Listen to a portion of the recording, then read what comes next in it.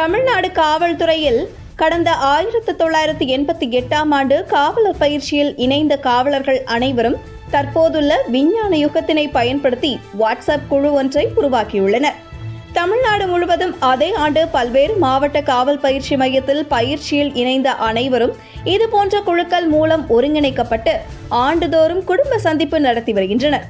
அவ்வகையில் காஞ்சிபுரத்தில் முதலாவது குடும்ப சந்திப்பு விழாவும் மாநிலத்தின் முப்பத்தி ஆறாவது குடும்ப சந்திப்பு விழாவும் ஒருங்கிணைக்கப்பட்டு காஞ்சிபுரம் மாவட்ட ஆட்சியர் அலுவலக வளாகம் அருகே அமைந்துள்ள காவலர் சமுதாய கூடத்தில் நடைபெற்றது.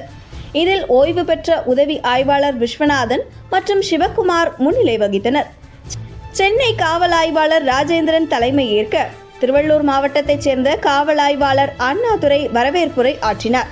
இந்த நிகழ்ச்சியில் சென்னை போக்குவரத்து துறை துணை ஆணையர் ராதாகிருஷ்ணன் கலந்து கொண்டு விழா வாழ்த்துறை வழங்கி விழாவில் பேசினார். உறக்கம் உணவு உடற்பயிற்சி.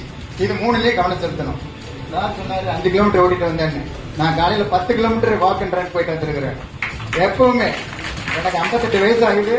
No sugar no salt no diabetics nothing nothing nothing எங்க வேணாலும் இப்ப இங்கே நடந்து கூட நான் மவுண்டுக்கு போயிட்டு திரும்ப அப்படி இருக்கேன். அதனால என்ன காரணம்னா எல்லாரும் நல்லா உடற்பயிற்சியில கவனம் செலுத்துங்க உடம்பு நல்லா ஹெல்த் இஸ் வெல்த்னு சொல்லுவாங்க.